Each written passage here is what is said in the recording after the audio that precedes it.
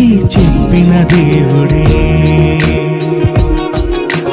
దేవుని గూర్చి చెప్పిన దేవుడే. ఆ, తన కొరకు ఆనాడు చెప్పాడు వేసే గదా. తన కొరకు ప్రతిరోజు చెప్పాలి నీవే గదా. తన కొరకు నువ్వు చెబితే దైవానివే.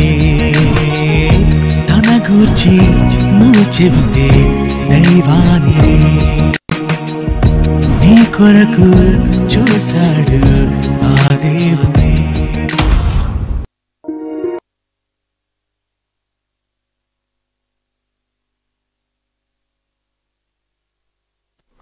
హలో. ప్రార్థన చేసుకుందాం అండి మమ్మను మిక్కిలిగా ప్రేమించిన మా కన్న తండ్రి ఉన్నతమైన మీ నామమునకు స్థుతి చెల్లిస్తున్నాం. తిరిగి మరల నేటి దినం విలువైన మీ మాట కొరకు సిద్ధపడి మీ పిల్లల ఎదుట నిలుచొని ఉన్నాను. నాకు సహాయం చేయండి వింటున్న ప్రతి మనోనేత్రము వెలిగించండి. మీ మాటను వినుటకే పరిమితం చేయక ఈ భూమి మీద మీ చిత్తాన్ని జరిగించుటకు మీ పిల్లలు ఉపయోగించున్నట్లుగా వారిని సమాయత్తపరచమని యేసుక్రీస్తు వారి పవిత్రమైన నామమున ఈ ప్రార్థన సమర్పిస్తున్నాము తండ్రి. ఆమెన్. క్రీస్తునందు ప్రియమైన దేవుని పిల్లలారా నేటి దినాన bachelor of bible theology first ఇయర్కు చెందిన పాఠాన్ని ఆ పిల్లల కొరకు నేను సిద్ధపరిచాను. అదే క్రీస్తు సాక్ష్యాన్ని గల్లంతు చేస్తున్న నేటి క్రైస్తవుల సాక్ష్యాలు. క్రీస్తు సాక్ష్యాన్ని గల్లంతు చేసిన నేటి క్రైస్తవుల సాక్ష్యాలు. క్రైస్తవ ప్రపంచంలో ప్రతినిత్యము విరివిగా వినబడేవి సాక్ష్యాలే. సాక్ష్యాలు అనునవి ఆదివరపు ఆరాధనల్లో సంఘంలో కనబడతాయి బహిరంగ సభలలో కనబడతాయి. అంతేకాక ఎవరైనా క్రైస్తవ సోదరులు కలిసినప్పుడు చాలామంది సంఘస్థులను నేను గమనించాను. వాళ్ళతో మాట్లాడుతూ దేవుని గురించిన ప్రస్తావన వచ్చిన వెంటనే అయ్యా నేను ఎలా మారానో మీతో చెప్పాలి. నా సాక్ష్యం మీకు చెప్పాలి అని వాళ్ళ గురించి వాళ్ళు చెప్పడం ప్రారంభిస్తూ ఉంటారు. క్రైస్తవ జీవితంలో సాక్ష్యం అనేది వాళ్ళ బాధ్యతగా క్రైస్తవుడు సాక్ష్యం ఇవ్వాలి అదొక బాధ్యతగా వాళ్ళు ఫీల్ అవుతూ మరి సంఘాలలో బహిరంగ సభలలో ప్రత్యేకంగా వ్యక్తిగతంగా ఎక్కడైనా తారసపడినా వాళ్ళు ఎలా మారారో లేదంటే దేవుని గురించి వాళ్ళ అనుభవాలు ఏంటో చెబుతూ మేము క్రీస్తుని గురించి సాక్ష్యం ఇచ్చాము మేము సాక్షులం అయ్యాము అని ఆనందపడుతూ ఉంటారు. చాలా ప్రసంగాల్లో కూడా నేను విన్నాను మీరు నీవు క్రీస్తుకు సాక్షివై ఉండాలి నీ సాక్ష్యం గొప్పదై ఉండాలి. నువ్వు సాక్ష్యం చెప్పాలి. ఆ ప్రభువు కొరకు సాక్ష్యం ఇవ్వాలి అని బోధకులు కూడా పదే పదే ప్రసంగాలలో వచ్చిన విశ్వాసులను మోటివేట్ చేయటం కనబడుతుంది. వెరీ గుడ్ మంచిదే. అయితే మన పాఠంలో టైటిల్లో కనబడినట్లుగా సాక్ష్యం ఇవ్వాలి మంచిదే. అయితే ఏది సాక్ష్యం అవుతుంది? క్రీస్తుని గురించి సాక్ష్యం ఇవ్వడం అంటే ఏంటి? ఏం చెప్పాలి? నిజంగా ప్రస్తుత క్రైస్తవ సమాజంలో సంఘాల్లో కావచ్చు బహిరంగ సభల్లో కావచ్చు లేదా వ్యక్తిగతంగా కావచ్చు తాము సాక్ష్యము క్రీస్తుని గురించిన సాక్ష్యం అనుకొని ఈరోజు క్రైస్తవులు చెబుతున్నవి నిజమైన సాక్ష్యాలేనా? అవి కూడా క్రీస్తుని గుర్చిన సాక్ష్యాలేనా? ఒకవేళ కాకపోతే ఏది క్రీస్తుని గూర్చిన సాక్ష్యం అవుతుంది చూద్దాం లేఖనాల నుంచి. ఏమండి? మొదటిగా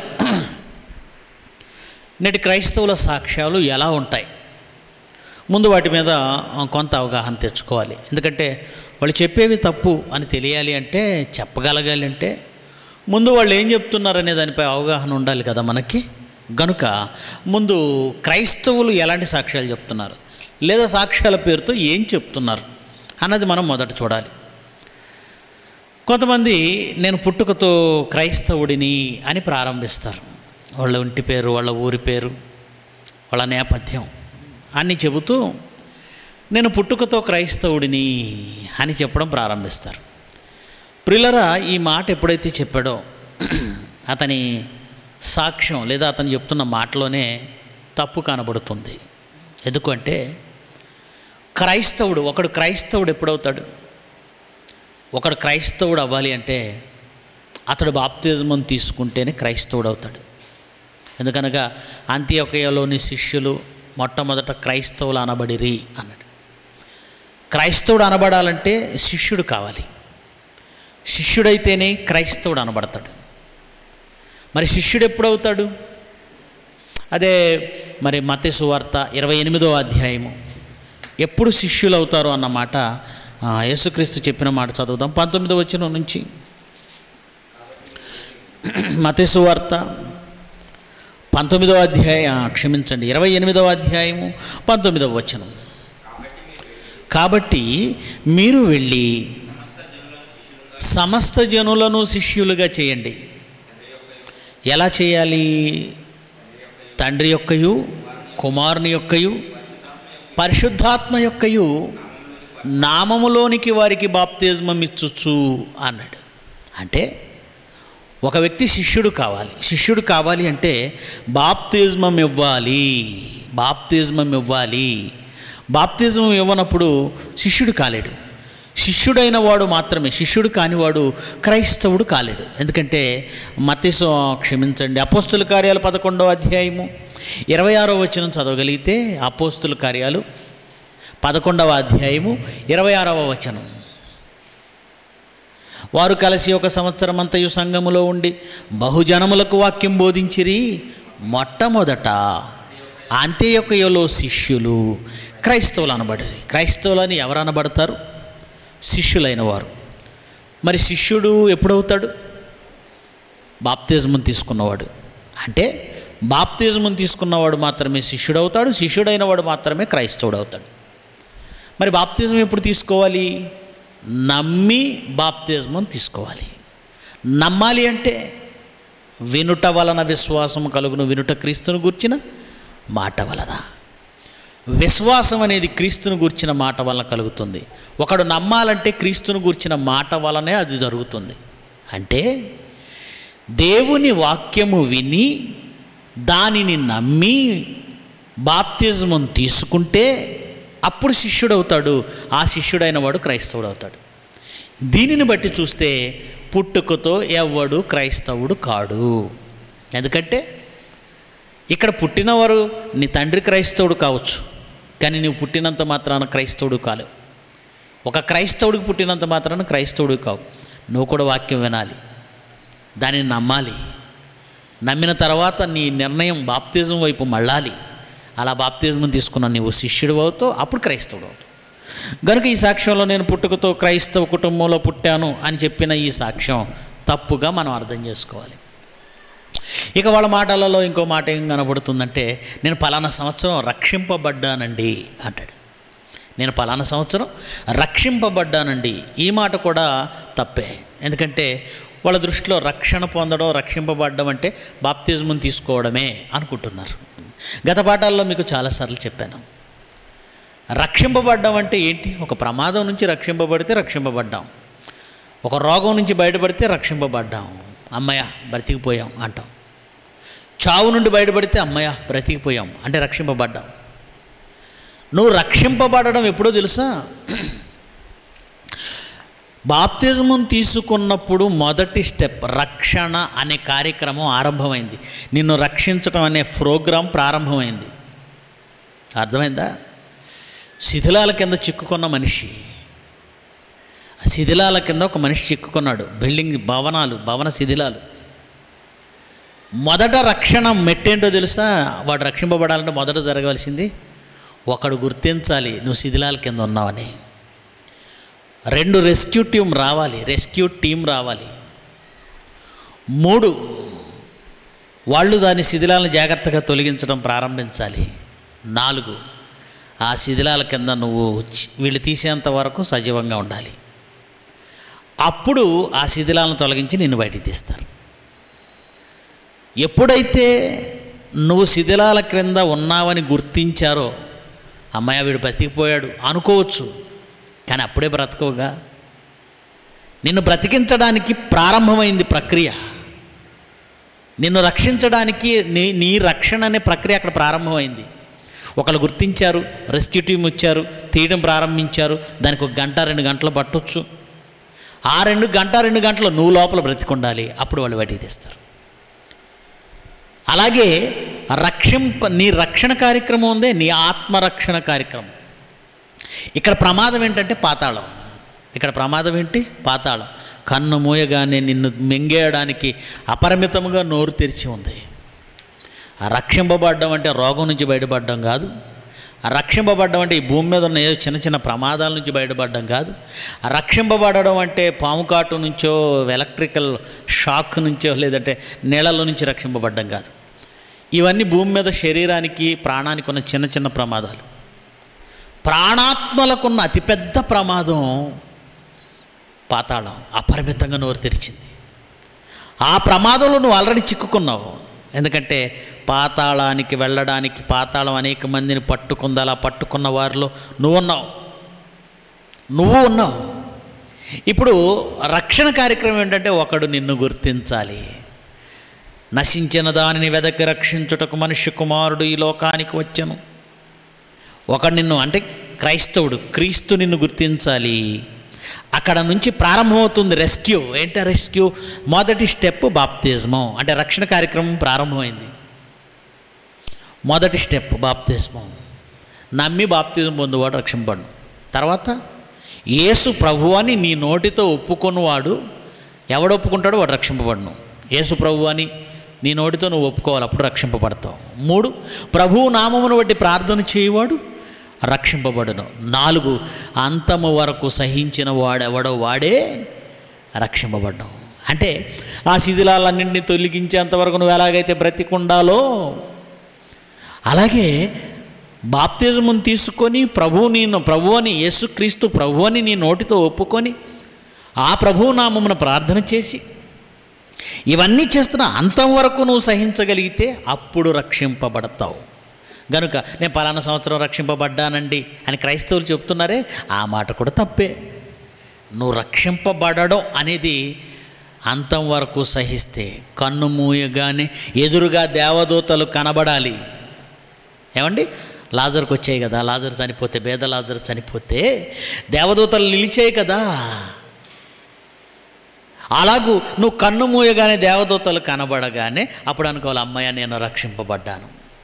గనుక రక్షణ అనేది ఎప్పుడు జరిగేదన్నమాట? నువ్వు అంతం వరకు సహిస్తే. గనుక పలానా సంవత్సరం రక్షింపబడ్డాను అనడం కూడా అది సాక్ష్యమే కాదు తప్పది. నువ్వు చెబుతున్న మాటే అబద్ధం మొదట. ఇక ఇక మూడవదిగా వాళ్ళు చెప్పే పాయింట్లో ప్రభువుని నమ్ముకోవడానికి గల కారణాలను వివరిస్తూ నేను పలానా తీవ్రమైన వ్యాధితో తీరని వ్యాధితో చాలా కాలంగా బాధపడ్డానండి. పలానా సేవకుడి దగ్గరకు వెళ్ళాను. పలానా సేవకుడు నా తల మీద చేయి పెట్టి ప్రార్థించాడు. లేదా నూనె రాచి ప్రార్థించాడు. లేదా పలానా చోటకు వెళ్ళాను. స్వస్తిశాలకు వెళ్ళాను. అక్కడ దేవుడు నా రోగాన్ని తీసేశాడు. నన్ను నయం చేశాడు. గనుక ఆ రోజు నుంచి నేను రక్షింపబడ్డాను అని చెబుతావు చూసావా? ఇది సాక్ష్యం కానే కాదు. ఎందుకు అంటే ఏమండి ఇప్పటి వరకు మనం మాట్లాడుకున్న పాయింట్లో ఒకటి నేను పుట్టుకతో క్రైస్తవుడని కానీ లేదా నేను ఫలానా సంవత్సరం రక్షింపబడ్డానని కానీ లేదంటే నాకు స్వస్థత జరిగిందని కానీ మరి కొంతమంది ఏమంటే నాకు పలానా మేలులు జరిగాయంటే ఉద్యోగం లేక బాధపడేవాడి అంటే చాలా కష్టాలు ఉండేయండి మా ఇంట్లో దేవుడు నాకు ఉద్యోగం ఇచ్చాడండి. లేదంటే పొలం చాలా ప్రాబ్లమ్స్లో ఉందండి దేవుడు మేలు చేసి ఆ పొలం మాకు వచ్చిందండి. ఇలా మాట్లాడుతూ ఉంటారు చాలామంది. ఏమండి? ఇకపోతే మరికొంతమంది ఏంటంటే నేను రాత్రి గాఢ నిద్రలో ఉన్నానండి. ఒక మెల్లని స్వరం నన్ను పిలిచిందండి. ఒక వెలుగు నా మంచం దగ్గరికి వచ్చిందండి. మెల్లని స్వరంతో నన్ను యాకోబు లే మార్తమ్మ లే అని నాతో మాట్లాడిందండి. ఇలాగ మాట్లాడుతూ ఉంటారు. ఏమండి ఈ పాయింట్లన్నీ ఒకసారి మనసులో పెట్టుకుంటే నేను పలానా సంవత్సరం రక్షింపబడ్డానని చెప్పినా నేను పుట్టుకతో క్రైస్తవుణ్ణి అని చెప్పినా లేదా నేను అన్నిల్లో నుంచి వచ్చాను అని చెప్పినా లేదు నాకు స్వస్థత ప్రారంభమైంది లేదా నాకు స్వస్థత జరిగిందని చెప్పినా లేదు తీవ్రమైన కష్టాలలో సమస్యల్లో నేను చిక్కున్నప్పుడు దేవుడు నన్ను కాపాడాడని చెప్పినా లేదు నాకు రాత్రి దర్శనం వచ్చి దేవుడు నువ్వు నా కోసం బ్రతకాలి నా కోసం పని చేయాలి నిన్ను నేను వాడుకుంటాను పలానా చోటుకు వెళ్ళాలి అన్నాడు. ఇవన్నీ క్రైస్తవులు బోధకులు చెబుతున్న సాక్ష్యాలు. వీటిల్లో ఏం కనబడుతుంది అంటే వారు తమ గురించి తాము చెబుతున్నారు తమ అనుభవాలు. జరిగినవా జరగలేదా అవన్నీ ప్రక్కన పెడితే మొదట వాళ్ళ అనుభవాన్ని వాళ్ళు చెబుతున్నారు. వాళ్ళకు జరిగింది వాళ్ళు చెప్తున్నారు వాళ్ళ గురించి వాళ్ళు చెప్తున్నారు అసలు సాక్ష్యం అంటే ఏంటి? వీళ్ళు యేసుక్రీస్తు గురించి చెప్తున్నారా చెప్పటం లేదా అనేది ముందు పక్కన పెడితే అసలు వీళ్ళు చెప్పేదాన్ని సాక్ష్యంగా పరిగణించవచ్చా? అని ఆలోచిస్తే అటు లోక చట్టపరంగా కానీ దేవుని చట్టపరంగా కానీ ఏమాత్రము ఇది సాక్ష్యంగా పరిగణించడానికి వీలు లేదు. ఎందుకు అంటే అసలు సాక్ష్యం అంటే అర్థం ఏంటి? ఒక వ్యక్తి మీద నేరారోపణ జరిగింది. ఒక నేరం ఆరోపింపబడింది. పలానా సంతోష్ కుమార్ గారు పలానా చోట హత్య చేశారు అనే నేరం నా మీద మోపబడింది. నేను చేయలేదు అని నా గురించి నేను చెప్పుకోవచ్చు. ఎందుకంటే నేను నిజంగా చేయలేదు గనక నాకు ఆ ధైర్యం ఉంది గనక నేను చేయలేదు అనడానికి కొన్ని కొన్ని సాక్ష్యాలను లేదా కొన్ని ఆధారాలను నేను చూపిస్తూ నేను మాట్లాడచ్చు. నిజమే కూడా కావచ్చు. నేను చెప్పేది నిజమే కూడా కావచ్చు. నిజం కూడా కావచ్చు.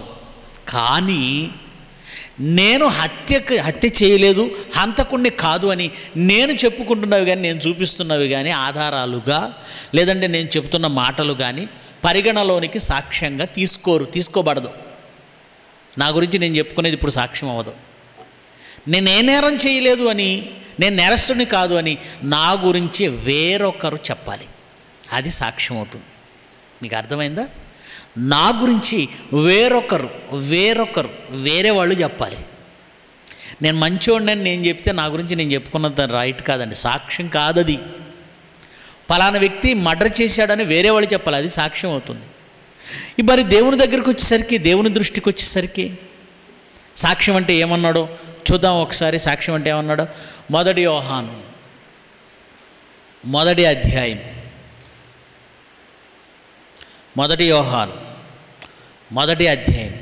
ఒకటి రెండు వచనాలు చదువుదాం. జీవవాక్యమును గూర్చినది. ఆది నుండి ఏది విన్ ఉన్నదో మేము ఏది విన్నాము జాగ్రత్తగా వినండి. మేమేది విన్నాము కనులారా ఏది చూచితిమో ఏది నిదానించి కనుగొంటిమో మా చేతులు దేనిని తాకి చూచెను అది మీకు తెలియజేయుచున్నాము. యేసుక్రీస్తు శిష్యులు మాట్లాడుతూ వాళ్ళ గురించి వాళ్ళు చెప్పుకోలేదు యేసుక్రీస్తు గురించి చెప్పారు. వాళ్ళు చెప్పింది యేసుక్రీస్తు గురించి. మేమేది విన్నామో ఏది చూసామో ఏది మా చేతులతో తాకామో ఏది నిదానించి కనుగొన్నామో దాని గురించి చెప్తున్నాం అన్నారు. అలాగే అపోస్తుల కార్యాలు నాలుగో అధ్యాయానికి వెళ్ళగలిగితే అక్కడ కూడా వాళ్ళు ఏమంటున్నారో చూడండి. అపోస్తుల కార్యాలు మరి ఐదవ అధ్యాయానికి నాలుగో అధ్యాయం క్షమించండి. నాలుగో అధ్యాయానికి వెళదాం. ఇరవయో వచనం. నాలుగో అధ్యాయం ఇరవై వచనం. అపోస్తుల కార్యాలు నాలుగో అధ్యాయం ఇరవై వచనం. మేము కన్నవాటిని గుర్చి విన్నవాటిని గుర్చి చెప్పకుండా ఉండలేము మేము కన్నవాటిని గురించి విన్నవాటిని గురించి చెప్పకుండా ఉండలేము ద్వితీయోపదేశకాండం పదిహేడో అధ్యాయము ఐదు ఆరు వచనాలు కూడా చూడండి. ద్వితీయోపదేశకాండం పదిహేడవ అధ్యాయము ఐదు ఆరు వచనాలు.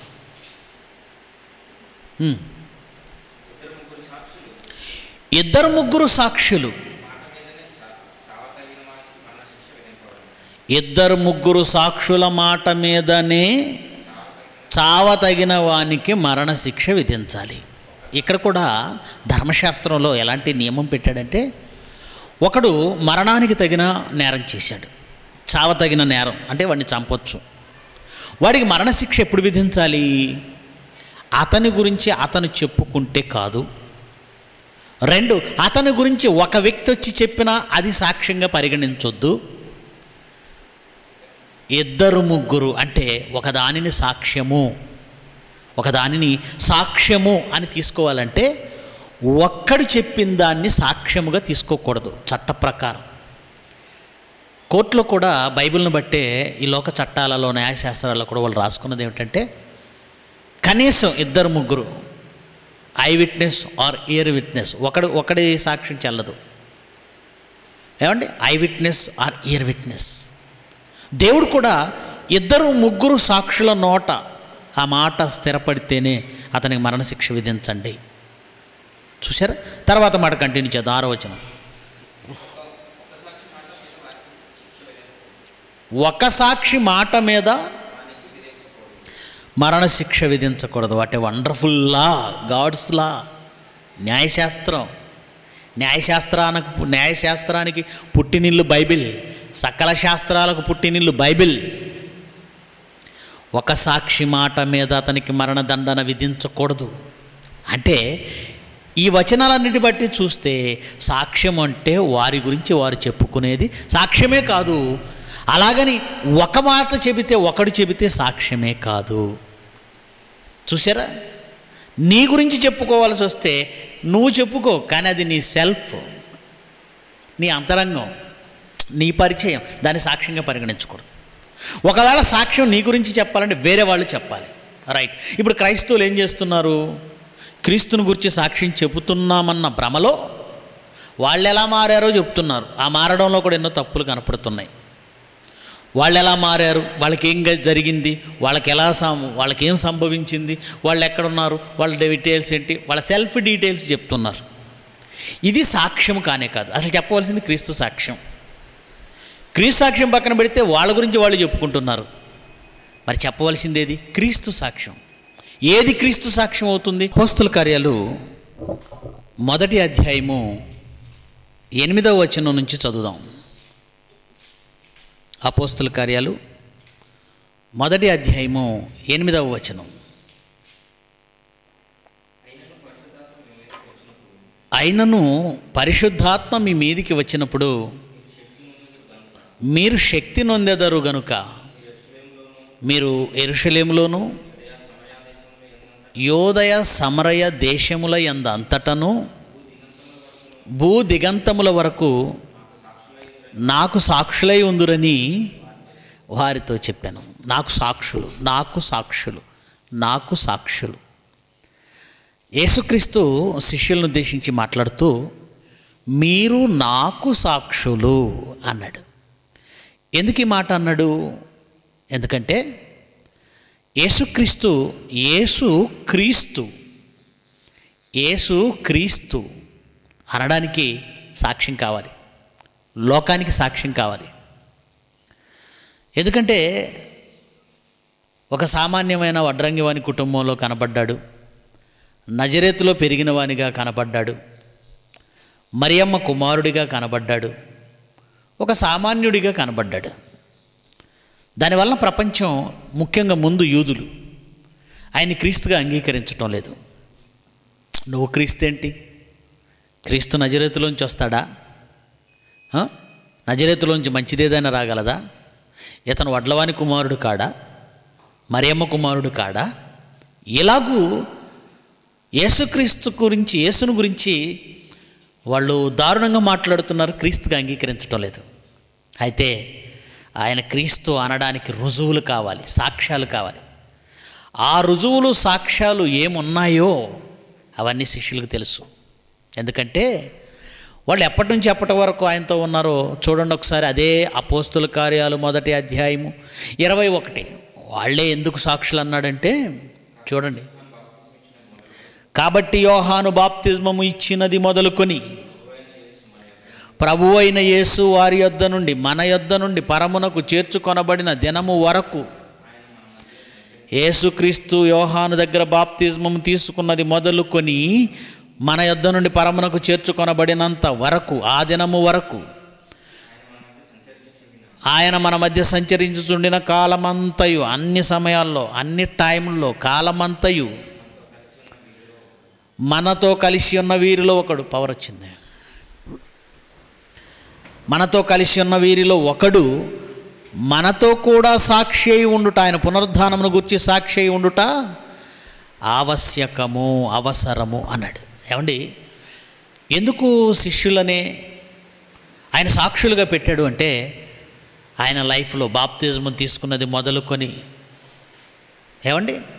బోధ ప్రారంభించిన నాటి నుంచి బాప్తిజం తీసుకున్నది మొదలుకొని బోధ ప్రారంభించిన నాటి నుంచి మరణించి తిరిగి లేచి పరలోకానికి వెళ్ళినంత వరకు యేసుక్రీస్తు జీవితంలో జరిగిన ప్రతి సంఘటనకు సాక్షులుగా వాళ్ళు నిలబడ్డారు. ఎందుకంటే ఆయనతో ఉన్నారు కదా.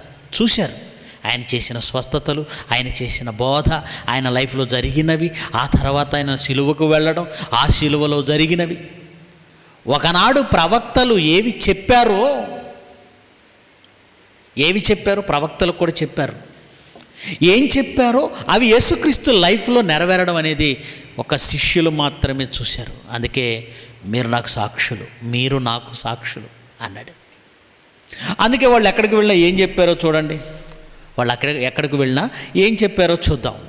అపోస్తుల కార్యాలు ఐదో అధ్యాయము ముప్పై నుంచి ముప్పై రెండు వచనాలు. అపోస్తుల కార్యాలు ఐదవ అధ్యాయము ముప్పై నుంచి ముప్పై రెండు వచనాలు. పెద్దగా చదువునన్నా మీరు మ్రానున వేలాడ వేసి చంపిన. గట్టిగా చదువుతున్నాను పెద్దగా చదవాలి. యేసును మన పితరుల దేవుడు లేపెను. ఇస్రాయేలీలకు మారు మనస్సును. పాపక్షమాపణమును. దయచేయుటకై దేవుడాయనను అధిపతిగాను రక్షకునిగాను. తన దక్షిణ బలము చేత హెచ్చించి ఉన్నాడు మేమును. ఏమండి? మేమును దేవుడు తన విధేయులైన వారికి అనుగ్రహించిన పరిశుద్ధాత్మయు ఈ సంగతులకు సాక్షులమై ఉన్నాము. మేమును ఏమండి? ఒకరి సాక్ష్యం కుదరదు కదండి. ధర్మశాస్త్రం ప్రకారం పదిహేడో అధ్యాయులు మనం చదివాం. ఒకరి సాక్ష్యం కుదరదు గనక యేసుక్రీస్తు సాక్ష్యం ఇవ్వడానికి ఆయన పన్నెండు మందిని ఉంచుకుంటే పన్నెండు మందిని సాక్షులుగా నిలబెడితే ఆ పన్నెండు మందితో పాటు పరిశుద్ధాత్మ కూడా సాక్ష్యం ఇస్తున్నాడట. పరిశుద్ధాత్మ కూడా ఏసే క్రీస్తై ఉన్నాడు. ఈ సంగతులకు మేమే సాక్షులం. దేవుడు ఆయన నిలబెట్టాడు. దేవుడు ఆయన నిలబెట్టాడు. దానికి మేము సాక్షులం. అలాగే మొదటి మరి యోహాను సువార్త యోహాను సువార్త మొదటి అధ్యాయము ఆరు ఏడు వచనాలు కూడా చూడండి. యోహాను సువార్త మొదటి అధ్యాయము ఆరు ఏడు వచనాలు. ఏమండి? దేవుని యొద్ద నుండి పంపబడిన ఒక మనుషుడుండెను అతని పేరు యోహాను.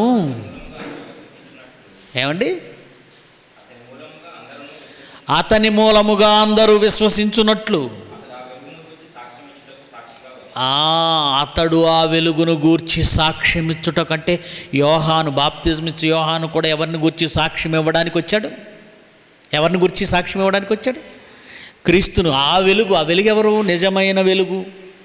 నిజమైన వెలుగు ఉండెను. అది లోకంలోనికి వచ్చుచు అందరినీ వెలిగించుచున్నది యేసుక్రీస్తు అండి. ఆది అందు వాక్యం ఉండెను. వాక్యము దేవుని వద్ద ఉండెను. వాక్యము దేవుడై ఉండెను. వెలుగు. వెలుగు గురించి మాట్లాడుతూ అదిగో ఆ వెలుగు నిజమైన వెలుగు లోకంలోనికి వచ్చి అందరిని వెలిగించున్నది. ఆ వెలుగును గూర్చి సాక్ష్యం ఇవ్వడానికి యోహాన్ వచ్చాడు. ఏమనిచ్చారు వీళ్ళు సాక్ష్యం? ఏమనిచ్చారు? చూద్దామా? యోహాను సువార్త ఐదో అధ్యాయం ముప్పై తొమ్మిది. వీళ్ళు సాక్ష్యం ఇవ్వడం అంటే ఎలా ఇచ్చారో చూడండి. ఏమండి? వీళ్ళు ఈ వీళ్ళు సాక్ష్యం ఎలా ఇచ్చారు అంటే యోహాను సువార్త ఐదు ముప్పై తొమ్మిది. లేఖనములయందు మీకు నిత్య జీవము కలదని తలంచుచు వాటిని పరిశోధన చేయుచున్నారు. అవి నన్ను గూర్చి సాక్ష్యమిస్తున్నాయి. ఏమండి? ఒకనాడు ప్రవక్తలు చెప్పిన ఆ ఆ ప్రవచనాలు ఏవైతే ఉన్నాయో అవన్నీ యేసుక్రీస్తు లైఫ్లో నెరవేరుస్తున్నాయి. నెరవేరుస్తున్నాడు. ఏ ప్రవచనాలు అయితే వాళ్ళు చెప్పారో వాటన్నిటిని నెరవేరుస్తున్నాడు. వాళ్ళేం చెప్పారు?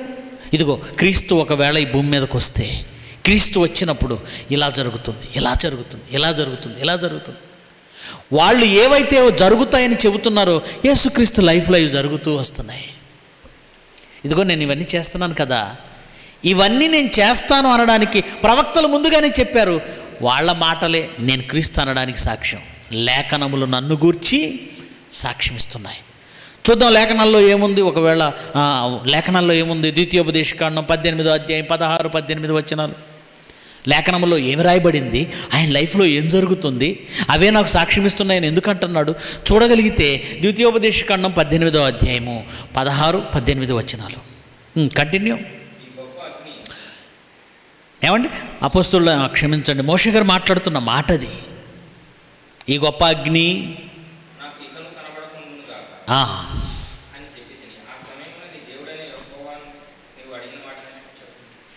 కానీ చదవండి. కంటిన్యూ కంటిన్యూ నీ దేవుడైన యెహోవా నీ దేవుడైన యహోవా నీ మధ్య నా వంటి ఒక ప్రవక్తను నీ సహోదరులలో నీ కొరకు పుట్టించును. ఆయన మాటను వినాలి. పద్దెనిమిదో వచనం కూడా చూడండి అదే పద్దెనిమిదో అధ్యాయంలో పద్దెనిమిదో వచనం. యహోవా నా వంటి ఒక ప్రవక్తను మీ సహోదరులలో నుండి మీ కొరకు పుట్టిస్తాడు. మీ సహోదరుల నుంచి. తర్వాత పద్దెనిమిదో వచనం. అతడి నోట నా మాటలు ఉంచుతాను. నేను నేను ఆజ్ఞాపించినదంతా యావత్తు చెబుతాడు. పద్దెనిమిదో వచ్చిన కంటిన్యూ అతడు నా నామమును చెప్పు మాటలను. వారి సహోదరులలో నుంచి అన్నది కంటిన్యూ చేయాలి. ఫస్ట్ మొదటి మాట. పద్దెనిమిదిలో వారి సహోదరులలో నుండి నీ వంటి ప్రవక్తను వారి కొరకు పుట్టిస్తాను. అదే కదా చెప్పాడు. ఆ తర్వాత కీర్తనల గ్రంథం పదహారో అధ్యాయం పదో వచనం చూడండి. యేసుక్రీస్తు గురించి లేఖనాలలో ముందుగా చెప్పబడిన మాటలు. కీర్తనల గ్రంథం పదహారవ అధ్యాయము పదవచనం కీర్తనల గ్రంథం? నీవు నా ఆత్మను పాతాళంలో విడిచిపెట్టవు. నీ పరిశుద్ధుని కుళ్ళు పట్టనీయవు ఆ, నీ పరిశుద్ధిని కుళ్ళు పట్టనీయవు ఏమండి? ఏదైతే దావీదు మాట్లాడుతున్నాడో అదే మాట అపోస్తుల కార్యాల్లో రెండో అధ్యాయంలో పేతురు గారు గుర్తు చేస్తున్నాడు. సాక్ష్యం చెప్తున్నాడు. రెండవ అధ్యాయం ఇరవై నాలుగు ఏమండి? ముప్పై? ఇరవై నాలుగు నుంచి చదువుదాం. రెండవ అధ్యాయం ఇరవై నాలుగు నుంచి. మరణము ఆయనను బంధించి ఉంచుట అసాధ్యము. ఆ గనుక దేవుడు మరణ వేదనలను తొలగించి ఆయన్ను లేపాడు. ఆయన్ను గూర్చి దావిదు ఇలాగన్నాడు నేను ఎల్లప్పుడూ నాను నా ప్రభువును చూచుంటిని. ఆయన నా కుడిపార్శ్వమున ఉన్నాడు గనక నేను కదల్చబడను. నా హృదయం ఉల్లసించుచున్నది. నా నాలుక ఆనందించుచున్నది. మరియు నా శరీరం కూడా నిరీక్షణ కలిగి నిలకడగా ఉండును. నీవు నా ఆత్మను పాతాళంలో విడిచిపెట్టవు. నీ పరిశుద్ధుని కుళ్ళు పట్టనియో చూసావా పేతురు గారు ఒకనాడు దావీదు చెప్పిన లేఖనము యేసుక్రీస్తు లైఫ్లో ఎలా జరిగిందో అక్కడ వివరిస్తున్నాడు. దీనిని సాక్ష్యం అంటారు. దీనిని సాక్ష్యం అంటారు.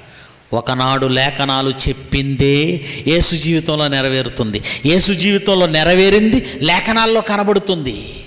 యేసు జీవితంలో కన్ కనబడింది లేఖనాల్లో వ్రాయబడింది. అది కేసు ప్రభు అన్నాడు లేఖనములు నన్ను గూర్చి సాక్ష్యం ఇస్తున్నాయి నేను చేసేది లేఖనాల ప్రకారం ఉంది. అందువల్ల ఆ లేఖనాలే నేనే క్రీస్తునని సాక్ష్యం ఇస్తున్నాయి. శిష్యులు కూడా ఏం చేస్తున్నారు? మీరు నాకు సాక్షులు అంటే వాళ్ళు ఏం చెప్పారు? వాళ్ళ గురించి వాళ్ళు చెప్పుకోలేదండి. వాళ్ళ గురించి వాళ్ళు చెప్పుకోలేదు. పేతురు నేనండి ధోనిలో ఉన్నానండి. మరి వల వేస్తున్నానండి చేపలు పడలేదండి. ఆయన వచ్చాడండి చేపలు ఏమన్నాడండి? ఆ రోజు నేను మారిపోయానండి. చెప్పలేదండి పేతురు. అది కాదు ఆయన చెప్పింది. ఆయనకు జరిగినది మార్కు రాశాడు. మత్తయ్య రాశాడు వేరే వాళ్ళు రాశారు. వాళ్ళు లేఖనాలలో ఏముందో ఆ లేఖనాల్లో ప్రవక్తలు ఏం చెప్పారు ఆ ప్రవక్తలు చెప్పింది యేసుక్రీస్తు జీవితంలో ఎలా జరిగిందో తాము కళ్ళారా ఎలా చూశామో ఏం విన్నారో వాళ్ళు చెబుతున్నారు. అంటే ఇప్పుడు మీకు అర్థమైందా? క్రీస్తును గూర్చిన సాక్ష్యం అంటే ఏసే క్రీస్తై వచ్చాడు అని లేఖనములను ఆయన లైఫ్లో జరిగిన సంఘటనలను రెండింటిని సరిచూచుచు ప్రజల మధ్య వాటిని రుజువు చేస్తూ ఆయన క్రీస్తని చెప్పడం సాక్ష్యం అవుతుంది. పలానా వాడు నేరస్తుడని చెప్పడం వేరేవాడు చెప్పడం సాక్ష్యం ఎలాగో? లేదా పలానా వాడు నిర్దోషి అని వేరేవాడు చెప్పడం సాక్ష్యం ఎలాగో? ఇదిగో వచ్చిన ఈ ఏసే ప్రజల చేత వడ్రంగి వాడిగా కనబడిన ఈ ఏసే ప్రజల చేత నజరేయుడు అనబడిన ఈ ఏసే ఇదిగో మీరు సిలువ వేసిన ఈ ఏసే లేఖనముల ప్రకారం క్రీస్తు. ఎందుకంటే లేఖనాల్లో మేము ఏది చదివామో ఆయన లైఫ్లో ఆయన్ని చూసాం మేము. మా కళ్ళతో చూసాం మా చెవులతో విన్నాం మా చేతులు తాకాయి మేము నిదానించి కనుగొన్నాం. అవును లేఖనాలలో ఉన్నవన్నీ ఆయన చేశాడు. చేశాడు అనడానికి మేము సాక్ష్యం. ఆయన క్రీస్తు అనడానికి మేము సాక్ష్యం. ఇది క్రీస్తును గుర్చిన సాక్ష్యం. ఈ సాక్ష్యాన్ని ఈరోజు క్రైస్తవులు గల్లంతు చేశారు. ఒకనాడు అపోస్తలు లోకానికి ఇచ్చిన సాక్ష్యం ఏసే క్రీస్తు అయి ఉన్నాడు. మతేసు వార్త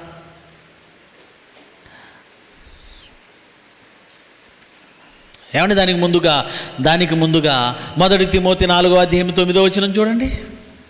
మొదటి తిమోతి నాలుగో అధ్యాయం తొమ్మిదో వచనం. మొదటి తిమోతి నాలుగో అధ్యాయం తొమ్మిదో వచనం. ఈ వాక్యం నమ్మదగినది. అంటే ఈ వాక్యము ఈ మాట. ఎవరి మాట? ఏ మాట? ఏ మాట? ఏసే క్రీస్తుగా వచ్చాడు. ఆయన మధ్యవర్తి. ఏసే క్రీస్తు అయి ఉన్నాడు. ఈ మాట నమ్మదగినదియు? పూర్ణ అంగీకారమునకు యోగ్యమునై ఉన్నది. ఎందుకంటే సాక్ష్యం ఇచ్చిన వారు. లేఖనములు ఆయన గురించి సాక్ష్యం ఇచ్చాయి పరిశుద్ధాత్మ ఆయన గురించి సాక్ష్యం ఇచ్చాడు అపోస్తలు ఆయన గురించి సాక్ష్యం ఇస్తున్నారు తండ్రి అయిన దేవుడు నాకు సాక్ష్యం ఇచ్చాడు అంటున్నాడు నా దేవుడు నా గురించి సాక్ష్యం ఇచ్చాడు అంటున్నాడు కనుక ప్రియులారా ఈరోజు క్రీస్తు గురించి మనం సాక్ష్యం ఇవ్వాలంటే ప్రకటన గ్రంథం ఆరో అధ్యాయం తొమ్మిదో వచ్చును చదవండి. ప్రకటన గ్రంథం ఆరో అధ్యాయం తొమ్మిదో వచ్చును ఆయన ఐదవ ముద్రను విప్పినప్పుడు దేవుని వాక్యము నిమిత్తం తామిచ్చిన సాక్ష్యం నిమిత్తం వధింపబడ్డారట వాళ్ళు. సాక్ష్యం ఇచ్చినందుకు. ఆయన క్రీస్తు అన్నందుకు చంపేశారట. పుస్తల కార్యాలు నాలుగో అధ్యాయంలో కూడా వాళ్ళు బెదిరిస్తుంది అందుకే కదండి. ఏసు క్రీస్తు అన్నందుకే కదా సాక్ష్యం ఇచ్చినందుకు చంపేశారు. ఏసే క్రీస్తని లేఖనములతో దృఢముగా రుజువు చేయడమే సాక్ష్యం ఇవ్వడం. అర్థమైందా? గనుక ఆ రోజు అపోస్తలు సాక్ష్యం ఇవ్వడం అంటే ఏం చేశారు? మీకు క్లారిటీ వచ్చింది. లేఖనములలో క్రీస్తు గురించి ఏవి వ్రాయబడ్డాయో అవి యేసు జీవితంలో నెరవేరాయి గనుక ఈయన క్రీస్తు అని రుజువులతో ఆధారాలతో తాము విన్న వాటిని కన్న వాటిని తాకిన వాటిని వాళ్ళు చెప్పారు. అందుకు వాళ్ళు సాక్షులయ్యారు. అయితే ఈరోజు మనం కూడా క్రీస్తులకు సా క్రీస్తుకు సాక్షులం కాగలమంటే అవుతాం. ఏ విధంగా? మతి సువార్త ఇరవై నాలుగు పద్నాలుగు చూడండి. మతి సువార్త ఇరవై నాలుగో అధ్యాయము పద్నాలుగో వచ్చింది మరియు ఈ రాజ్య సువార్త సకల జనులకు సాక్ష్యార్థమై సాక్ష్యం కొరకు ప్రకటింపబడిందనే సాక్ష్యం సాక్ష్యార్థమై లోకమందంతటా ప్రకటింపబడును. అది ప్రకటించవలసింది ఎవరు? నువ్వు నేనే. ఈరోజు క్రీస్తును గూర్చిన సాక్ష్యం ప్రకటించగలం. మనం అంటే ప్రకటించగలం. ఏ సాక్ష్యం? అపోస్తలులు లేదా శిష్యులు ఆయనను తాకి చూసిన వారు ఆయనను కళ్ళారా చూసిన వారు ఆయన మాటలు చెవులారా విన్నవారు వాళ్ళు ఆల్రెడీ ఇచ్చిన సాక్ష్యాన్ని అది క్రీస్తు సాక్ష్యంగా పరిగణించబడితే ఆ సాక్ష్యాన్ని తీసుకెళ్ళి నువ్వు లోకంలో ప్రకటిస్తావే ఇది సాక్ష్యాన్ని ప్రకటించడం అంటే. నీ జీవితంలో నువ్వు క్రీస్తుకు సాక్షి అవ్వాలి అంటే ఆ ప్రకటించిన దాన్ని నువ్వు ప్రకటించడమే సాక్ష్యం తప్ప నువ్వు నీ కంటితో చూసావా యేసుక్రీస్తు నువ్వు కంటితో చూసావా లేదా ఆయన మాటల స్వయంగా నీ చెవిత విన్నావా? లేదు. గనుక సాక్ష్యం అనగానే నువ్వెలా మారావో నీ కుటుంబ నేపథ్యం ఏంటో లేదా గతంలో నువ్వు ఎలా దొంగతనాలు చేసావో లేదా ఎలా మటర్లు చేసావో ఎలా రేపులు చేసావో చెప్పడం కాదు. ఈరోజు క్రీస్తును గూర్చిన సాక్ష్యం చెప్పడం అంటే ఆల్రెడీ క్రీస్తును గూర్చిన సాక్ష్యమే అపోస్తుల కార్యాల నుంచి ఏమండి? ప్రకటన గ్రంథం వరకు అపోస్తులు ఇచ్చిన సాక్ష్యమే ఉంది. దానిని నువ్వు ప్రకటిస్తే క్రీస్తు సాక్ష్యాన్ని ప్రకటించినట్లు. నీ గురించి నువ్వు నువ్వెలా మారావో చెప్పడం సాక్ష్యం అవదు. నువ్వు ఎలా మారావో ఓకే చెప్పు. కానీ అది క్రీస్తుని గురించిన సాక్ష్యం కాదు. అర్థమైందా? క్రీస్తును గురించిన సాక్ష్యం అంటే ఆల్రెడీ అపోస్తులు ఇచ్చారు. ఎలా? లేఖనాలలో వ్రాయబడిన దాన్ని వాళ్ళు చూసి అది యేసుక్రీస్తు జీవితంలో నెరవేరిందా లేదా తమ కళ్ళతో చూసి చెవులతో విని చేతులతో తాకి పరిశోధించి నిదానించి కనుగొని అవును లేఖనాల్లో వ్రాయబడింది ఈయనే ఈయన జీవితంలో జరుగుతుందంటే ఈయనే క్రీస్తు అని వాళ్ళు ఆధారాలతో చెప్పారు. అది క్రీస్తు సాక్ష్యం. ఇర్మియా గ్రంథం ముప్పై రెండో అధ్యాయం పదో వచనం చూడండి. ఎరిమియా గ్రంథం ముప్పై రెండో అధ్యాయము పదే వచనం.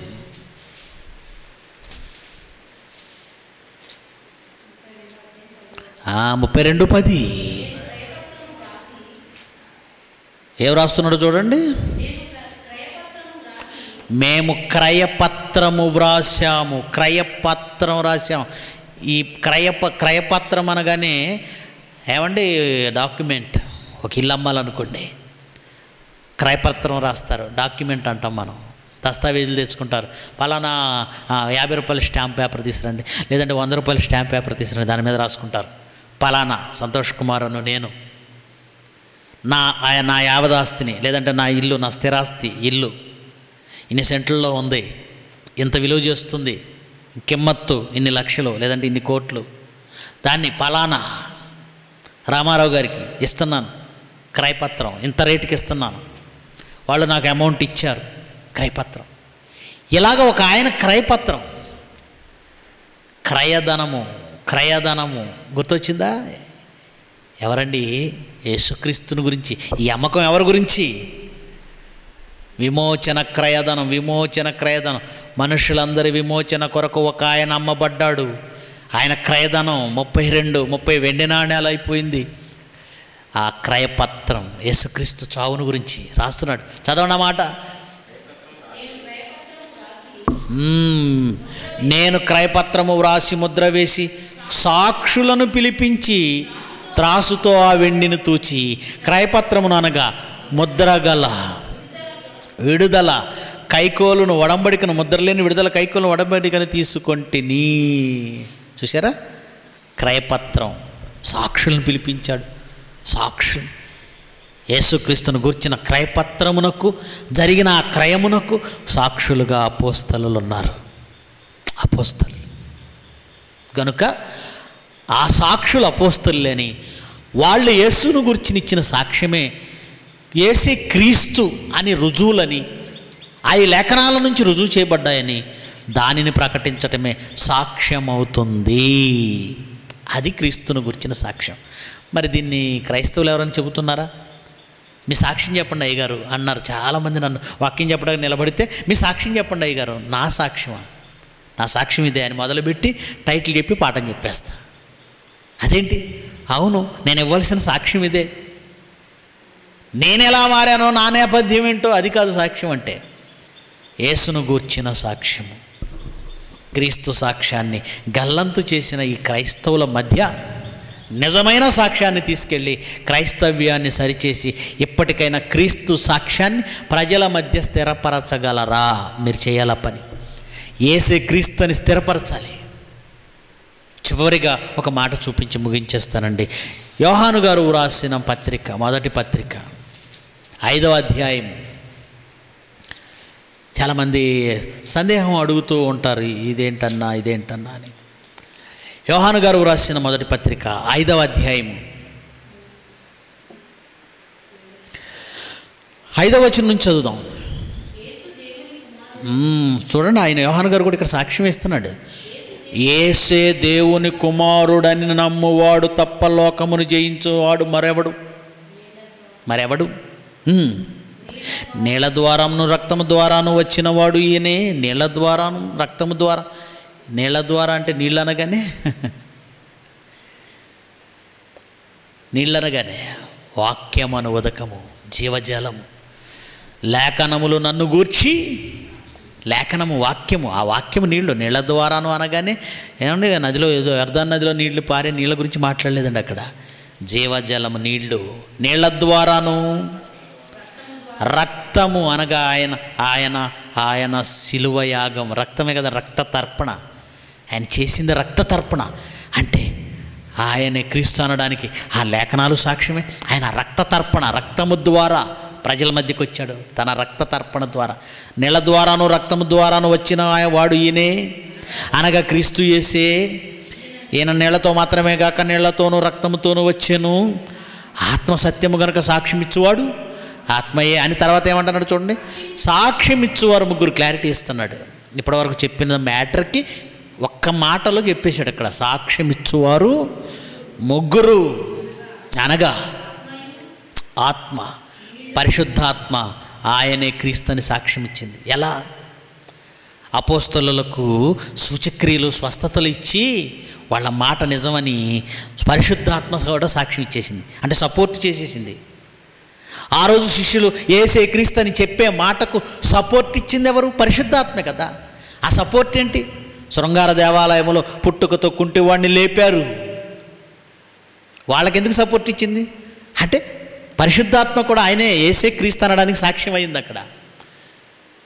అలాగే ఎన్నో సూచక్రియలు ఎన్నో అద్భుతాలు భాషలు వరాలు ఇవన్నీ వాళ్ళకిచ్చి ఏసే క్రీస్తు అనడానికి పరిశుద్ధాత్మ కూడా ఏమైంది? సాక్షి. అందుకే సాక్ష్యం ముగ్గురు కలరు.